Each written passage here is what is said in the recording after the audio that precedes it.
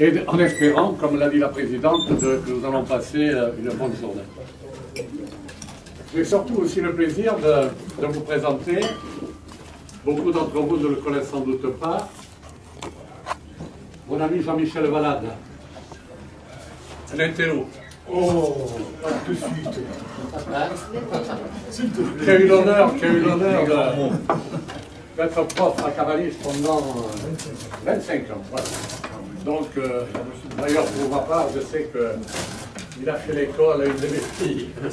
Mais quand ils se sont retrouvés, ils avaient des choses à dire.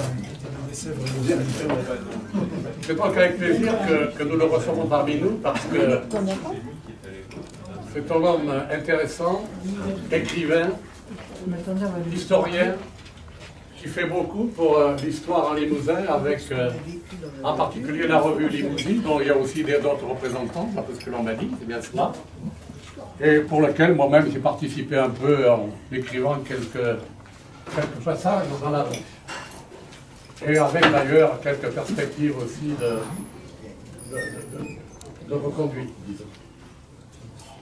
Je voudrais simplement insister sur euh, la présence de Jean-Marie ici, dans ces pays, et en particulier avec son passé au saillant, parce que pour lui, ça doit lui rappeler des souvenirs, puisque son premier roman, son premier roman est, euh, on peut dire, originaire de la région. Et d'ailleurs, il sera un plaisir de vous en parler euh, cet après-midi. Le premier roman qu'il a écrit euh, s'appelait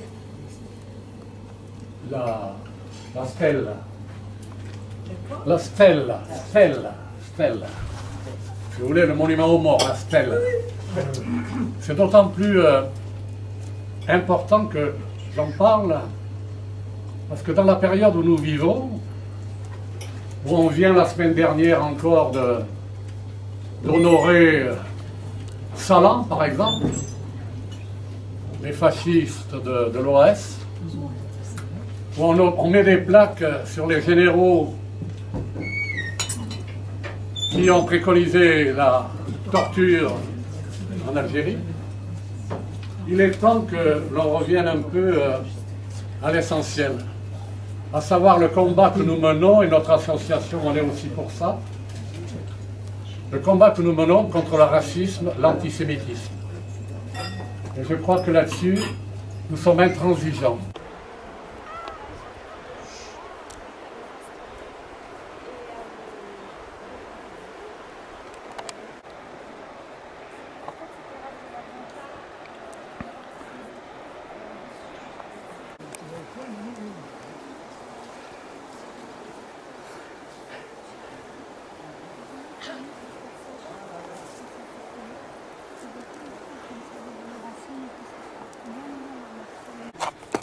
Non, il sera pas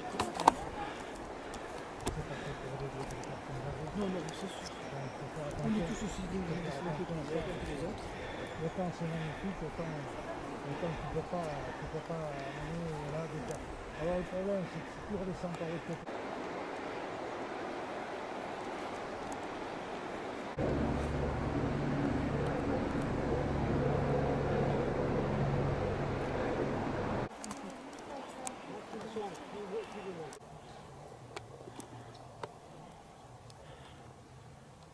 On a repris ça il y a quelques années, l'idée de refaire vivre un peu le pays. Euh, Céline a dû vous expliquer, vous avez vu l'originalité de, cet édifice. Conserver le patrimoine, c'est bien. Le faire vivre, c'est mieux. Donc euh, c'était un peu le but de replanter de la vigne, parce qu'il y a une belle histoire sur la vigne. Et euh, Jean-Michel est capable d'écrire, puisqu'il a eu des, bases aussi, puisqu'il est né, enfin où ses parents sont nés, vous êtes passé devant. Et je fais une petite parenthèse, puisque vous verrez la stèle tout à l'heure. Je fais partie de, ces hommes qui se battent parce que pour faire mettre tout le monde au même niveau, au niveau de la stèle, c'est-à-dire la famille des Juifs, je crois que tu as mis 20 ans pour y arriver. Plus plus. Même peut-être un peu plus. Donc c'est bien d'avoir mis euh, tous ceux qui s'étaient battus pour la France au même niveau. Et c'est vrai qu'on le dit, ça n'a pas été simple, hein, parce que vous savez, comme moi, commencer en France, euh, c'est pas aussi facile. Donc ça, c'est la petite parenthèse, et encore une fois, il faut le remercier, parce que c'est un peu grâce à lui que tout le monde est au même niveau. Donc après la vigne, bon, je ne sais pas si Céline a dû vous expliquer un peu. Euh, avant phylloxéra, il y avait quand même 17 000 hectares sur le pays de Brie. Quand on sait que l'Alsace aujourd'hui c'est 12 000, vous voyez un peu, c'est quand même important. Et il se trouve que les écrits, euh, nous ça nous va bien parce qu'ils ont plusieurs siècles, disaient que les meilleurs vins étaient là. Bon. Là on, est, on va dire qu'on est en Aquitaine, puisqu'on est sur les grilles ici. En haut, on est sur le massif central et au milieu, il y a, il y a cette, euh, ce filon schisteux. Je ne sais pas si vous avez vu les pentes traversables. Ah ben, ce matin, oui. Donc vous avez vu, les, hein, vous a expliqué la verticalité et la finesse. C'est le seul endroit au monde où l'ardoise est aussi fine, due aux pressions, il y a 400 millions d'années qui ont fait que les blocs. Regardez, on a, on a un géologue avec nous. Il y a 400 millions d'années, oui.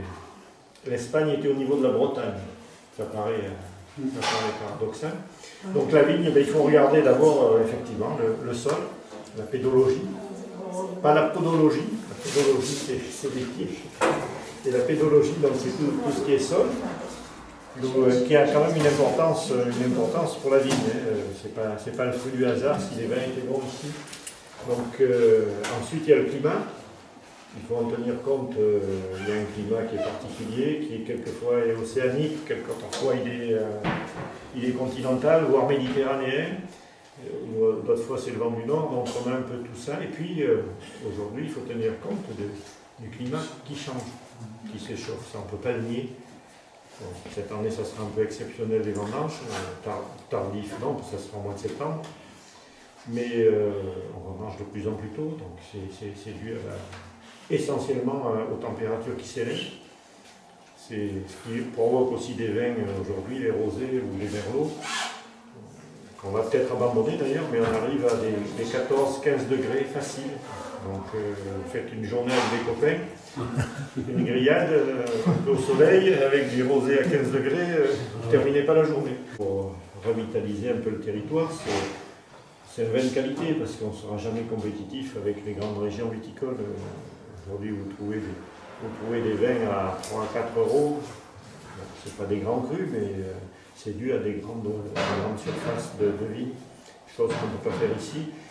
Et la particularité, Céline a dû vous l'expliquer, là, euh, le but c'est de l'économie, certes, par la vigne et par le, tourisme, mais aussi euh, le volet social et puis patrimonial. Donc on a du patrimoine. Et le volet social, on a une association qui occupe 20 salariés aujourd'hui en essentiellement des travailleurs handicapés.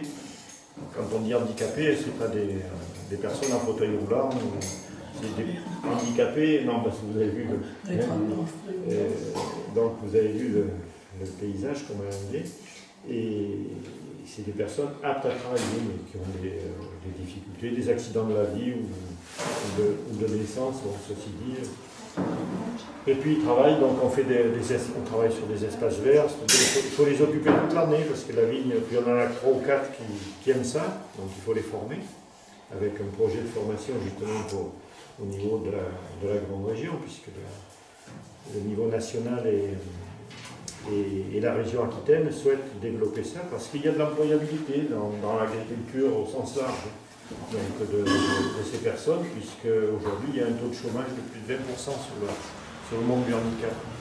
Donc on les utilise dans les espaces verts, dans les exploitations agricoles, et, puis euh, pour certains, ça leur redonne leur dignité par le travail.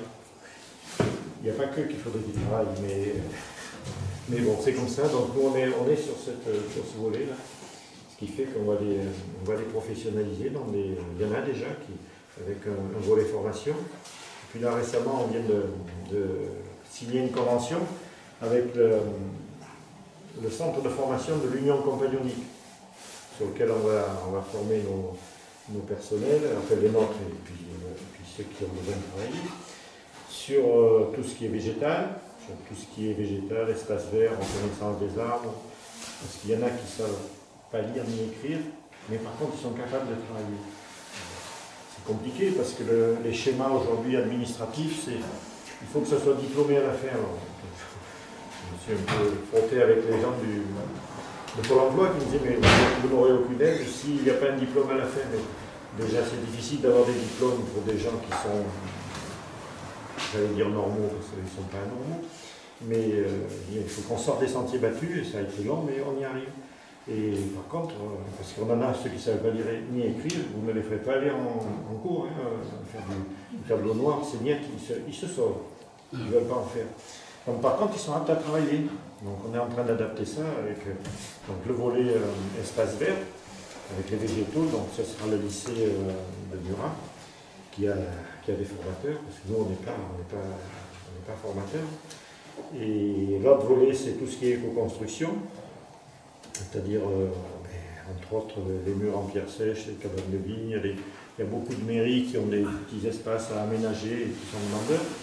Et le troisième axe, ce sera sur la vigne, euh, la vigne, la pomme, et euh, faire éclaircir des pommiers à des travailleurs, c'est pas. Mais il faut leur montrer la taille, il faut leur montrer. Donc voilà, c'est trois axes qui, ont, commencent à se mettre en place. Mais c'est pas facile, hein. vous avez dû voir avec l'administration, c'est pas toujours évident parce qu'on a des, schémas tout faits. Si vous ne rentrez pas dans le schéma, ben, vous n'êtes pas bon. Donc il faut. Il y a eu des, financements dégagés au niveau national, heureusement que la ministre, aujourd'hui, avant c'était euh, Muriel Pénicaud, donc on avait rencontré et qui ont dit que dans deux ans, mais il faut faire ses preuves, donc si ça marche, ils sont prêts à les prendre sur tout le niveau national. Vous avez vu un peu les, premiers travaux qu'on a commencé à faire. Et puis euh, là-bas, je ne sais pas si vous l'avez vu, la cabane au fond, qui a été faite par l'information avec l'Union compagnonique. Donc c'est bien aussi d'avoir des, ben, euh, sur la route du barrage. Euh, c'est c'est bien parce qu'ils euh, avaient 7 euh, ou 8 personnes en formation, il y en a 3 qui ont été embauchés par des entreprises. Un couvreur, puisqu'il y avait tous les, cabanes, en fait, il y a la pierre, il n'y a pas de ciment, hein, c'est de la terre au milieu, il y a la, charpente, et puis la toiture, ce qui fait qu'il y a trois corps de métier, et puis bon, ça, c'est pas mal, c'est même bien. Donc voilà un peu les, grandes lignes. Mais je le suis encore un peu parce qu'il y a des retraites d'agriculteurs. On se réveille la nuit pour savoir comment on va les manger. Mais bon, comme les artisans, des fois. Les artisans, commerçants, c'est comme ça, on ne va pas pleurer. Et mon épouse, elle, elle, on transformait des, transformait des canards, des porcs et des bovins. Il nous restait que. Il nous manquait la vie pour vivre en autarcie, donc c'est fait. Vous êtes passé du bovin au bon vin. tout à fait. Et euh, on a pas, moi, j'ai pas pu euh, faire la Napurna, là. J'ai fait, que le, fait que le camp de base. Le, projet, il, couvre quelle superficie dans les terrasses Alors, les terrasses, au total, le, côté qui nous regarde, fait une quarantaine d'hectares.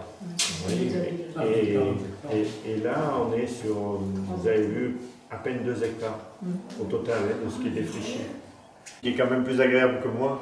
Ah oui, c'est vrai. Objectivement, c'est vrai. Eh oui, objectivement, c'est vrai, on l'a choisi. Hein. Elle a aussi un gros avantage, elle est beaucoup plus jeune. Le vin. Alors le vin que vous goûtez, c'est du vin chambardoise. Donc ça, c'est une petite exploitation de 4 hectares qu'on a reconstruit avec Michel. Euh, donc on produit les trois couleurs, du rouge, du blanc, du rosé. Sur les blancs, on, a exclusivement le cépage chenin, c'est ce que vous goûtez en ce moment dans la version sec. Oui, c'est ça, Voilà. Tout à l'heure, vous goûterez la deuxième version, qui est la version un petit peu plus sucrée, euh, en demi-sec. Et puis, euh, on vous fera goûter du rouge aussi, sachant qu'on n'a plus de rosé. Le rouge, lui, il est parti à, partir des cépages Merlot et Cabernet Franc. Ce qu'on vous fera goûter tout à l'heure, c'est du 100% Cabernet Franc. Euh, mais on, va goûter, on goûtera peut-être le deuxième blanc euh, avant.